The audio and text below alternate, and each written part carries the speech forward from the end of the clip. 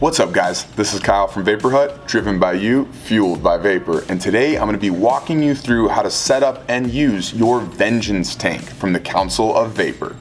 All right, so here's the box the Vengeance from the Council of Vapor comes in. All right, and inside we will find the tank, extra glass, a spare 0.2 stainless steel coil, got a nice little user manual with some big high-res pictures on how to use the device a little warning card, and a little QR code that presumably takes you to their Facebook page. So here is the Vengeance by the Council of Vapor. Got this nice engraved logo on the bottom, the Council of Vapor Vengeance. Got your serial number down there, and this 510 pin is not spring loaded. And the Vengeance is a 22 millimeter diameter tank, so it's gonna sit nice and flush on all of your devices. And the airflow ring is this center piece of metal right here, and it is not free spinning. So it goes fully open, stop spinning, and fully closed, and stop spinning. There says Vengeance right there on the chimney. And this is all 304 stainless steel, and this is Pyrex glass. Now the drip tip looks a little bit different than some that we've seen. Got this little O-ring on the top and these holes along the side. And if we look down the center, we see all these holes shaped like a honeycomb or a hexagon. So as the vapor comes up from the chimney, it will hit these holes and kind of separate.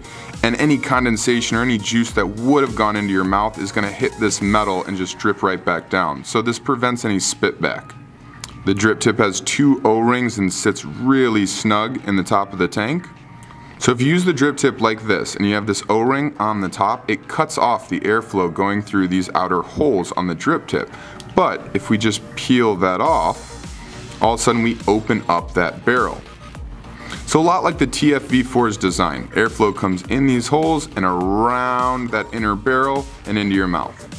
And this is not a standard 510 drip tip, so if we were to try to put on one of our own, we'll notice it clearly does not fit.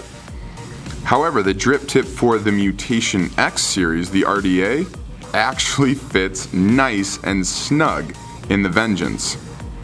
So you will miss out on having that little backsplash guard like you do on the drip tip that comes with it, but if you want a longer drip tip or a Delrin drip tip, you can use the Mutation X drip tip on the Vengeance. So let's go ahead and take her apart by just spinning the bottom. And here is our coil. And here is the 0.2 ohm stainless steel coil that comes with the Vengeance. And this atomizer is rated for 30 watts to 100 watts. And all of these juicing windows around the outside, there are six of them, this ensures proper juice flow and even at 100 watts you're not going to get a dry hit with these coils. And as you can see these are parallel stainless steel vertical coils. So let's go ahead and pop the atomizer back into the base. And you're going to fill this just like a normal tank. So with the top of the tank upside down, take some juice. I'm going to be using some Vapor Hut cotton candy. And just squeeze it down the side there. And this tank does hold four milliliters of e-liquid. So we go all the way to the top.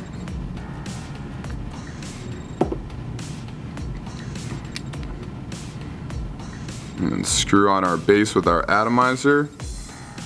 And then you're gonna let this sit for a couple minutes just so that atomizer gets nice and saturated and then you are ready to go. So that is the Vengeance tank from the Council of Vapor.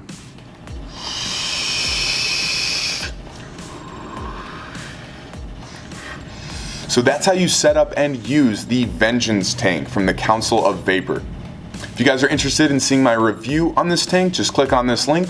Otherwise, this has been Kyle from Vapor Hut, driven by you, fueled by Vapor. Have a great day, guys.